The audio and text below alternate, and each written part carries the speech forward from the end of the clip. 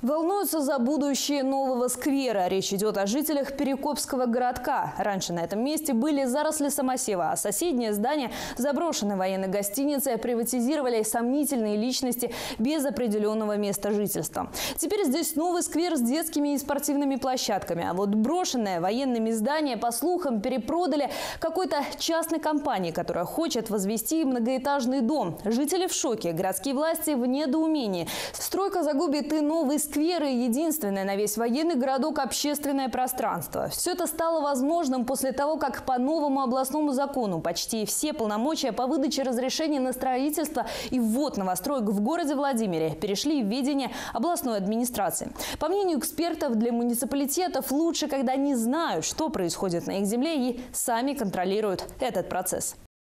Когда мы говорим о вопросах, связанных с территориальным планированием, с градорегулированием, градостроительством, застройкой территории и так далее, это исконные вопросы местного самоуправления. Кому, как не городу, определять, каким будет его лицо. И с этой точки зрения я считаю, что, конечно, действия субъекта федерации, которые изымают у муниципальных образований такие исконные вопросы местного значения, ну, не, со, не способствуют развитию территории. Но в качестве примера что можно привести? Вот самые негативные, допустим, последствия подобных решений?